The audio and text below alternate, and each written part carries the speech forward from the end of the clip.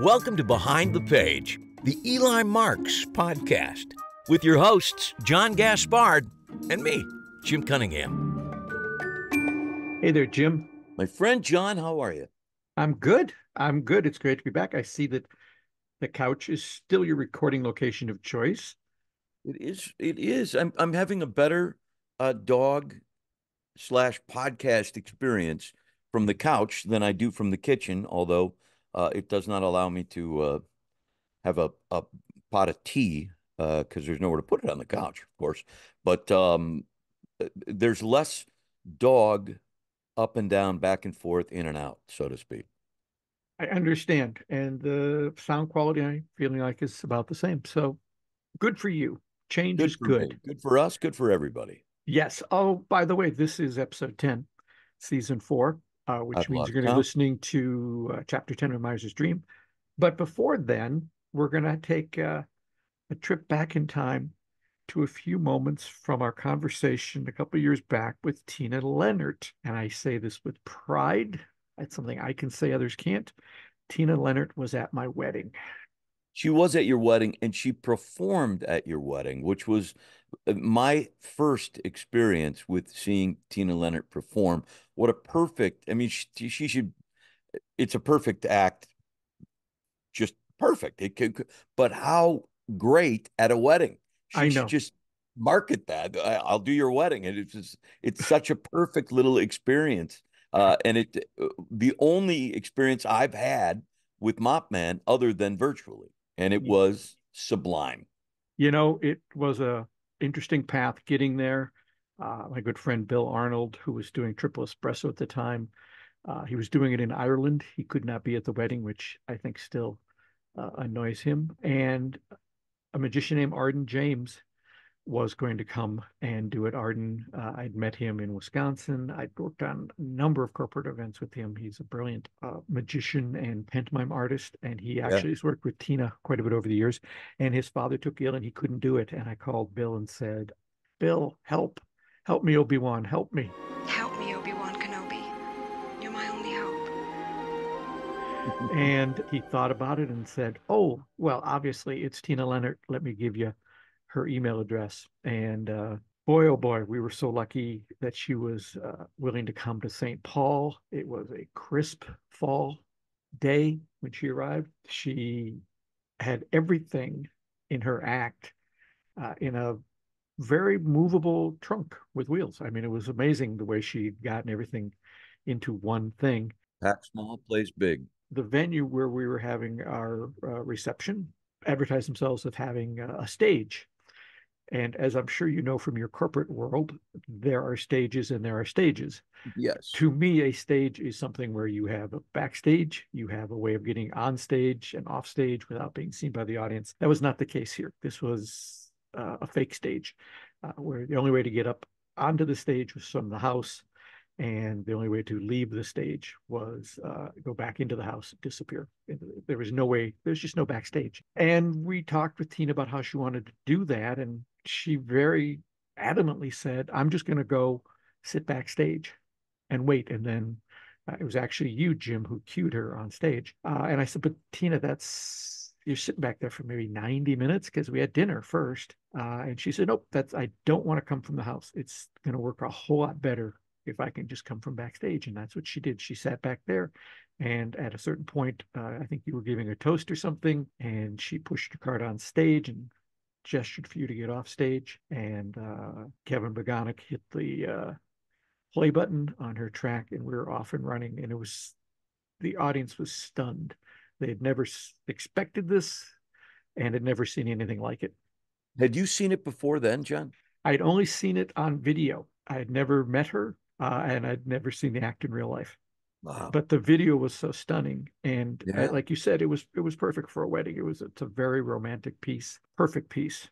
And you know, uh, uh, I I was dying to talk to her about Mop Man. It's it, I really just was fascinated by the whole experience because it, it's not just uh, a magic show. It's not just a mime show.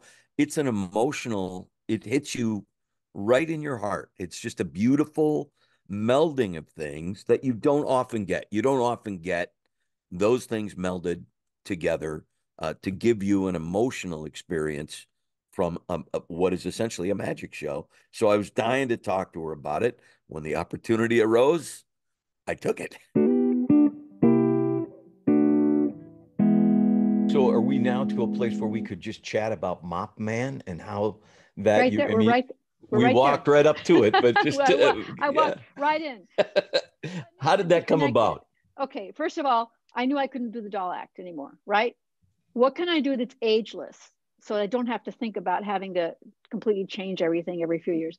Well, characters, cleaning lady character, that can work anywhere. And, and it's people associate with that. And it's uh, also it's the idea of a cleaning person is someone you don't really want to pay attention to because you want your place clean. So I, I like the idea that I, I could be somebody that would be finally find a place, find love, you know. So I knew that that was a good point for me to start with. Let me let me kind of go back a little bit. I've always been a little bit uh, worried about being on stage as myself. You know, hiding behind a mask is, was good because I didn't really think that anybody would ever want to look at me. So how was I going to get to a point where I would look okay? Well, I thought if I start as a really homely cleaning lady and I end up like in an evening gown, then I go from really ugly to not so ugly. You know, in other words, I don't have to run out on stage looking really beautiful and then where do I go from there? I just rather start and then have an evolvement. So the idea was to evolve it. Uh, okay, good. So how do I do that? Part of this whole process was that I was in Las Vegas and I saw a, a strip act of a, a woman um, that she took a coat and put it on her shoulder and kind of improvised a hat. And that that side became a man, and the man began to like remove her clothing. So that was two characters. I'm a mime, great. I love body division. And then that's where the fun for me began, is because I really got to use my mime techniques to do that. Then, of course, the magic was the least was my weakest point, and thankfully, I'm married to Mike Caveney, so that helped me there. and I also had other magicians around that were just, you know, the, the magic world is great. It's great anyway, but when they see someone who's really interested that already has existing skills, I just was very had really good fortune to know a, a good amount of great people that were willing to work with me on this. I think a big my big word in performing coming up with a routine or an act it needs to be relevant people need to understand what you're doing and they need to be affected by it emotionally and if you don't get those two things you, you could be the greatest artist in the world but if you can't make that connection. So i found that if i turned it into a romantic story and with mike's suggestion like like a cinderella story then that could be something that everybody could relate to. But yeah there was all these little things that came together not at once. I, I had only planned on doing that act for about three years and i'm on my 34th year now. It just kind of it wouldn't leave me which is nice. I'm grateful but um, I, I really wish that i knew the formula of that. I mean i know it back thinking i know the formula. I wish i could think forward because i would love to be able to do more things like that. You mentioned connecting the dots, which I think is kind of a theme with you. yes. Uh, and I think a lot of times we can only connect the dots in retrospect. We're not you seeing. as that, you know that came from a steve jobs uh, speech. That's where i got the term. And that's exactly what he says So you can't you can't form them yourself you just have to notice them. You have to every time something happens to you that, that i like the word goosebumps here where, where you just get this feeling that if that means something to you then then there's a possibility that you can transfer that. If somebody tells me that they saw my act and they got goosebumps um, that makes gives me goosebumps. I mean, it makes me feel really good. So I want to see if I can transfer things that make me feel really good to others. And I think that's been as as varied as my theme and my interests have been. My interest, my deep interest, is to find things that make me feel good, and then me find a way of having other people feel good.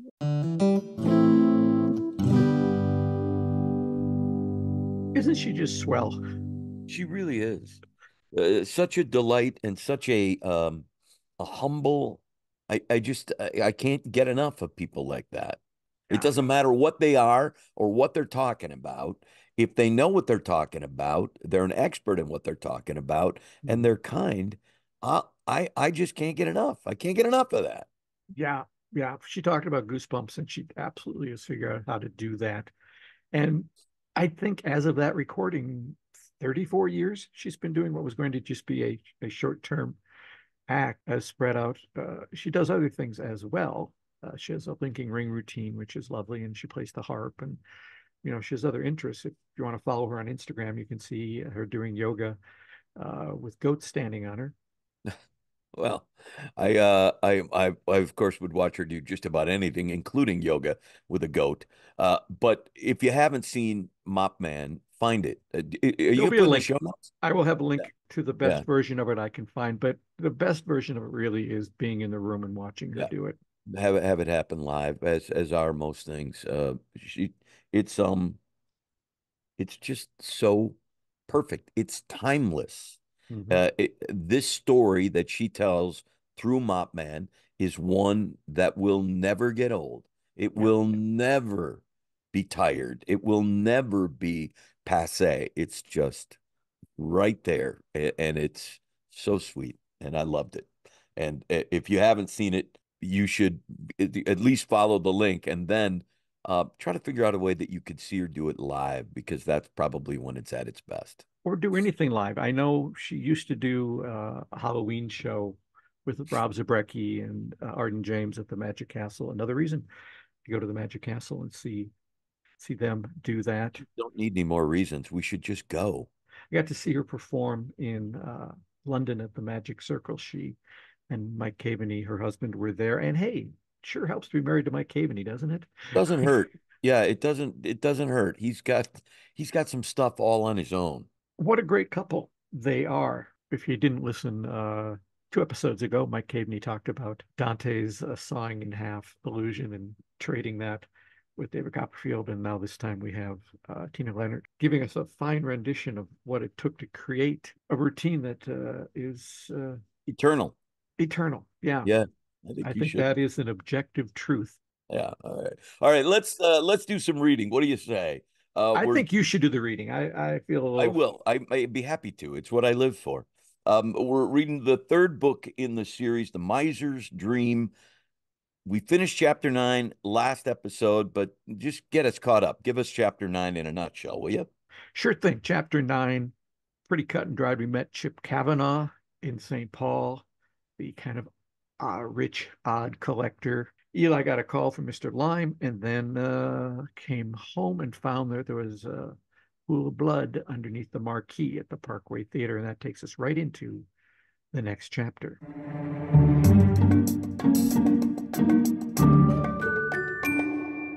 Chapter 10 I don't have all the details, but my understanding is that someone, person or persons unknown, pushed or pulled the ladder from beneath her while poor Tracy was atop it. She landed on the sidewalk, sadly breaking her fall with her head.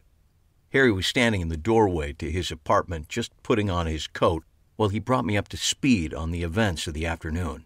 Is she okay? That is still an open question, he said, shutting the door behind him and heading down the narrow stairway toward the shop below. Megan was the one who found her. She called 911, and then when the ambulance came, Megan accompanied them to the hospital. I thought she would have called by now with a report, but my cell phone has been oddly silent. It's lucky someone was there, I said as we made our way through the dark shop. I think I should go down to the hospital and see how she's doing. I'm not entirely sure which she you mean, nor do I wish to know. But that's an excellent notion, Harry agreed. For a moment, I wasn't actually sure either. We parted ways in front of the shop, with me headed back toward my car, and Harry headed, I assumed, next door to Adrian's for a spot of dinner and some camaraderie with whichever members of the Minneapolis Mystics were in attendance that evening. However, as I pulled away from the curb and performed a neat U turn in the middle of Chicago Avenue, I was surprised to see he had bypassed the door to the bar and was heading farther down the sidewalk. The stoplight was in my favor, so I didn't have time to think about it as I continued down the barely plowed street toward the hospital. There was no answer the several times I tried Megan's cell phone while I drove, but that seemed reasonable, as many hospitals limit the use of cell phones in some key areas. I imagined the emergency room was one of them. What was intended to be a quick check in at the front desk took longer than anticipated when I realized, to my chagrin, that while I knew Tracy's first name, I had never bothered to learn her last. The front desk attendant was kind enough to perform a computer search using only the first name, and moments later, I was in the elevator on my way to the third floor. Finding the room proved to be easier than anticipated, as I immediately spotted Megan as I exited the elevator. She was chatting with a man dressed in traditional blue hospital scrubs standing in front of the door to a patient room. Oh, Eli, she said, breaking into a sad smile. You must have heard. She grabbed my arm and pulled me into the conversation, giving my hand a warm, steady squeeze. I looked at the doctor and recognized him immediately. Red-headed with a thick ginger beard, he had written out a prescription over a year before, which I still carried in my wallet. It read, Don't get hit on the head anymore. A quick glance at his name badge confirmed my memory. Dr. Levine, I'm Eli Marks. You saw me after I got a concussion last year. Have you stopped getting hit on the head? I couldn't believe he remembered this specific incident, so I assumed this was a standard line he gave to any patient who had taken a blow to the head. I do my best every day, I said. Good to hear, he said. As I was just telling Megan here, your friend Tracy is a very lucky lady. She took quite the fall and amazingly broke nothing but her noggin. How badly? There was so much blood, Megan added. Head wounds are notorious gushers, Levine said. She's got a nasty concussion, and we're watching for internal bleeding, which is why I wanted to stay the night. We did an initial CAT scan and didn't see any evidence of epidural or subdural hematomas, but I want to keep an eye on her for the next 12 to 16 hours. He glanced down at the chart he was holding and then looked up at us. That being said, she could have easily broken an arm, a leg, her back, he continued, then paused and added, even her neck. As if on cue, Megan and I both turned to look into the room where Tracy lay motionless. Has she been conscious at all? I asked, addressing my question first to the doctor and then adding Megan. Did she say what happened? She's been in and out, Megan said. I asked her if she saw what happened, and all she said was someone knocked the ladder over. She didn't see anyone. It struck me for the first time that someone had tried to run me down just a few feet from where Tracy had fallen. I flashed back on the two of us standing outside the projection booth, leaning in to see Tyler's body and the evidence which lay around him. Megan must have seen the puzzled look on my face. What's wrong? I shook my head. Nothing, I said, trying to put my thoughts into words and giving up. Nothing at all. I was still thinking about that coincidence as we made the short drive back to our neighborhood. Lucky thing you found her, I said, breaking the silence which had enveloped us since leaving the hospital. If it hadn't been me, it would have been someone else. I mean, people walk up and down that sidewalk all day. Still, you were there. You made the call. Speed is imperative in these things, I said. It was a good thing I had my phone because, as you know, I don't always carry it. We both smiled at this admission, as my inability to reach her by phone had been an ongoing sore point in our relationship. She shook her head, then the smile faded away. Oh, Eli, there was so much blood. Who would do something like that? I mean, just run up and do that. I shook my head. Lot of wacko people in the world, I said, patting her leg ineffectually, the physical equivalent of saying, There, there. The mention of blood brought me back again to Tyler's body in the projection booth. I searched for a connection with Tracy's fall and with my literal run in with a car the other night and came up short on both fronts. How's everything at the store? I said, trying to steer us into more innocuous territory. Megan's store, Chi and Things, occupied the corner of Chicago and 48th Street and offered a full complement of crystals, aromatherapies, healing balms, and other holistic tchotchkes and doodads. Megan had inherited the entire block from her grandmother and took over the empty corner shop, making her first fledgling attempt into the often stormy and unpredictable waters of retail. The inheritance also made her my landlady, a fact which never ceased to amuse me. It's okay, we had a sudden influx of used New Age books, she said, apparently relieved to be talking about something more mundane, without an equal increase in sales of new New Age books. People are unloading old books but not buying new books? I guess, she said. I have no idea what it means.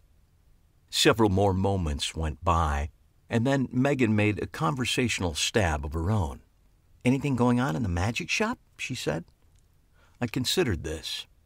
We finally had a black guy come in and ask if we had any black thumb tips, I said. That was nice. So I was able to prove to Harry it had made sense to make that small investment in our inventory. That's great, she said, with a tad more enthusiasm than was really required. How many did he buy? I thought back on the encounter. None, but I feel it was a small inclusionary victory for the world of Chicago magic. Oh, absolutely. We drove in silence, and then she suddenly perked up. Oh, I forgot to tell you.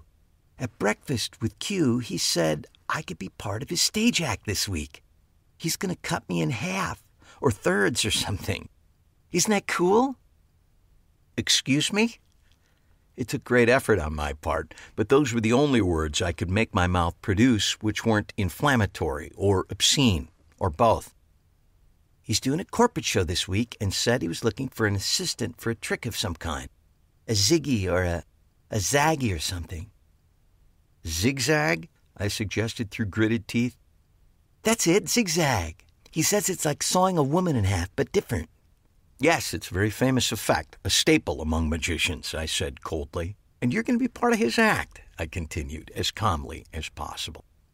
Yes, I think it's downtown somewhere on Thursday night. You are going to be part of his act, I repeated.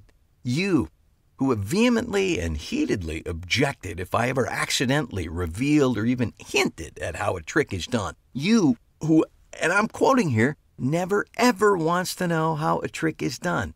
This same person is going to rehearse and perform the zigzag as part of Quentin Moon's act. Did I get that right? I think my tone must have gotten through to her, for her response was now as cold as mine. I don't understand what the problem is, she said sharply. You've asked me to help out with your act in the past. Yes, and every time, let me repeat, every single blessed time you have declined on the grounds that you, and again I quote, don't want to know how the trick is done. But apparently you have no such compunction with Mr. Hotshot Euro Trash Magician. Who? Oh, right, she said, realizing I was talking about Quentin. Eli, I don't see why you're getting so upset. Do you want me to say no? I would love for you to say no, I said quickly. Fine, I'll say no, she said as I pulled up in front of her building. Is that what you want? I said, trying to take some of the emotion out of my voice. No, but apparently it's what you want. We stared at each other for a long moment, and then she turned and stepped out of the car. I'll think about it, she said. Good.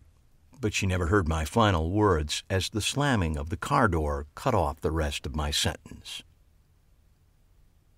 How would you feel if your girlfriend performed in another magician's act? I don't have a girlfriend. Hypothetically, then. Nathan considered the question thoughtfully. If I had a hypothetical girlfriend, I'd be so grateful I probably wouldn't mind if she performed in another hypothetical magician's hypothetical act. This conclusion reached, he looked across the counter at me. But that's not the answer you were looking for, was it? We were hanging out in the magic shop, and I had brought him up to speed on Quentin Moon's breach of magic etiquette. Harry hadn't gotten up yet when I stopped in for our morning breakfast ritual. He begged off for just a few more minutes, or maybe an hour, of sleep, so I ate a bowl of Cheerios over the sink and opened the store early. Nathan stopped by to refill his stock of balloons for a kids' party, complaining how nowadays the kids were always asking for weird animal breeds when he took requests. I understand not every kid is going to make my day easier by asking for a wiener dog, he explained. But what the heck am I supposed to do with a request for a golden doodle? We commiserated about this and Quentin's betrayal for several minutes and could have continued for several more when we were interrupted by a phone call. I knew it was from my ex wife before I had even taken the phone from my pocket, signaled by the ringtone I'd assigned to her. The Stones, it's all over now. We're visiting the final suspect Mr. Lime provided later this morning, she said, without any greeting or fanfare. How did it go with Mr. Kavanaugh? I thought back on the sad millionaire and his hidden and highly suspect art collection. Nothing to report except to say he's a bit of an odd duck. But you probably already gathered as much. Who was it that said that quote about the rich? They are different from you and me. I think it was Fitzgerald. Barry or Geraldine? No, you movie geek idiot. F. Scott. And he was right. They are a whole different breed. And if you don't believe me, wait till you meet the next one on your list. What do you mean? Just wait, was all she said before hanging up.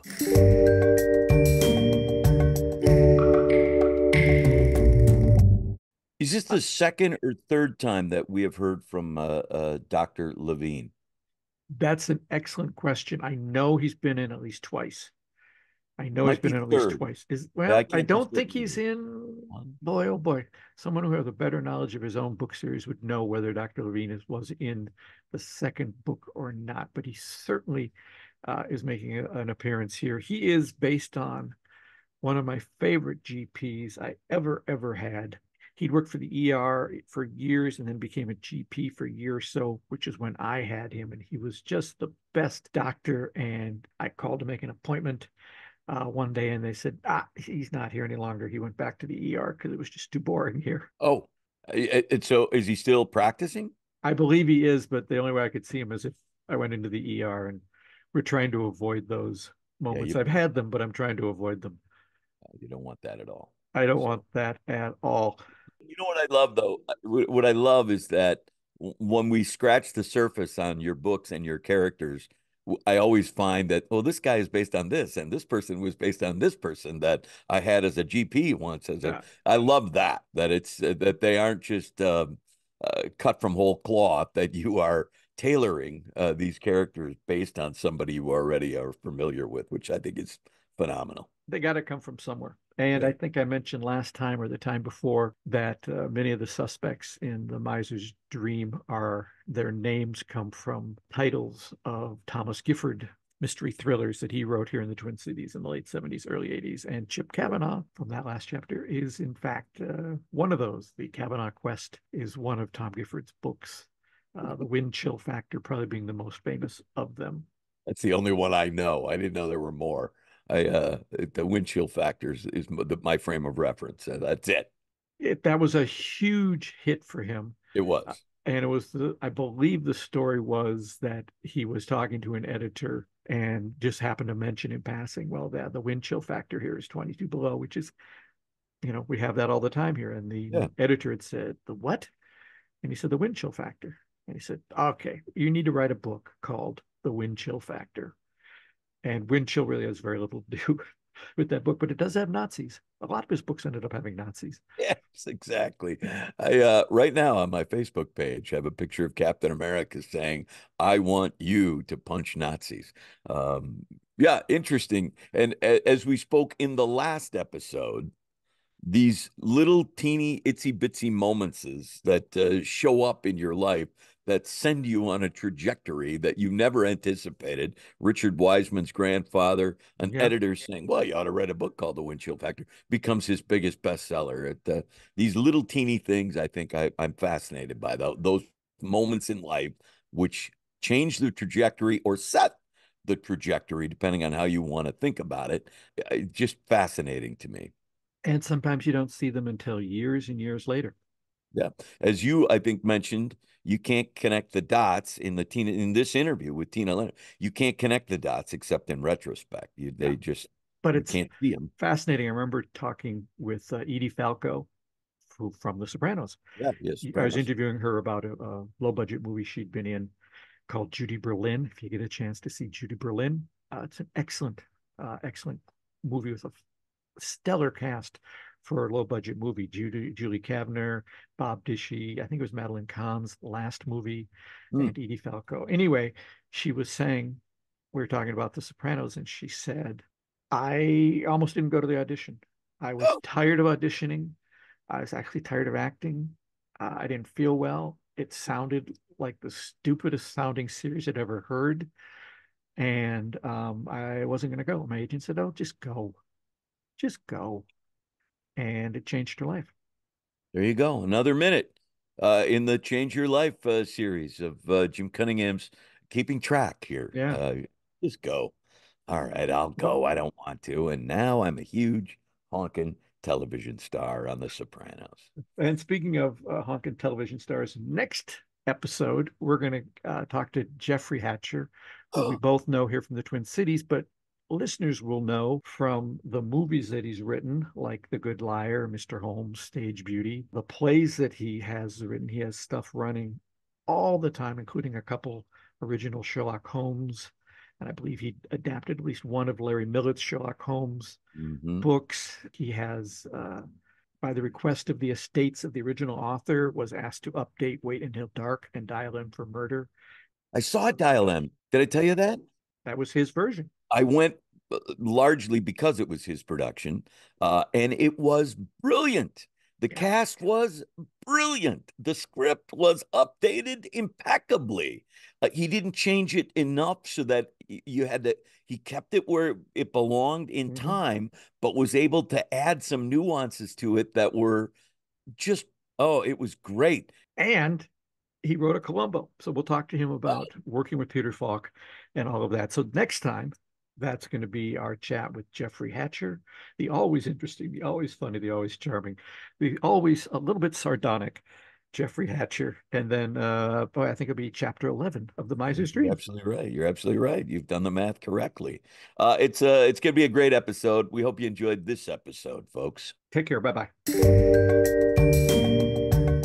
This has been Behind the Page, the Eli Marks podcast, with your hosts, John Gaspard and Jim Cunningham. Produced by Alberts Bridge Books at Grass Lake Studios. Find this podcast and all the books in the Eli Marks series at elimarksmysteries.com. That's E L I M A R K S, mysteries.com. And thanks for listening.